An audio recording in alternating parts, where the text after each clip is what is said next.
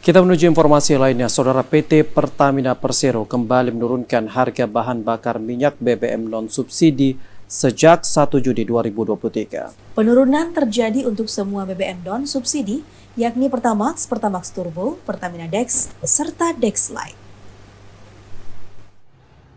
Penyesuaian harga setiap bulan mengacu kepada keputusan Menteri ESDM nomor 245 tahun 2022 tentang formula harga dasar dalam perhitungan harga jual eceran jenis bahan bakar minyak umum, jenis bensin dan minyak solar yang disalurkan melalui stasiun pengisian bahan bakar umum.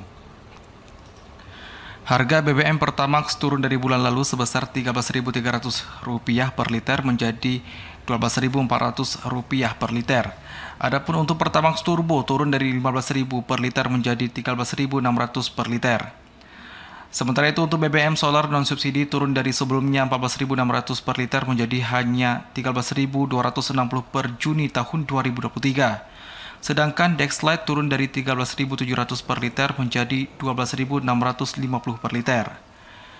Pertamina masih mempertahankan harga BBM subsidi, Pertalite masih tetap sebesar Rp10.000 per liter di seluruh Indonesia dan solar tetap di harga Rp6.800 per liter. Tim Liputan TV Aceh melaporkan. Saudara berikut kami hadirkan infografis terkait penyelesaian harga bahan bakar minyak terbaru oleh Pertamina.